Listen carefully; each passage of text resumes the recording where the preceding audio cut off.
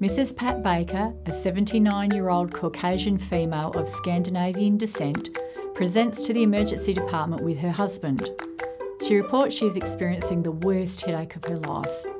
She states, Even my scalp and hair hurt. Pat describes her headache as persistent and band like, unilateral, and with throbbing pain that waxes and wanes. Pat also reports she has had jaw pain, visual disturbances, and been very tired for the past month. She has lost 9 kilos, 20 pounds. Moreover, she reports a fall yesterday.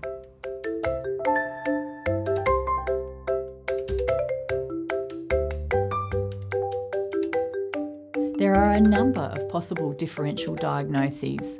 For example, migraine, tension headache, cluster headache, subarachnoid hemorrhage, temporal giant cell arteritis, and brain tumour or metastases.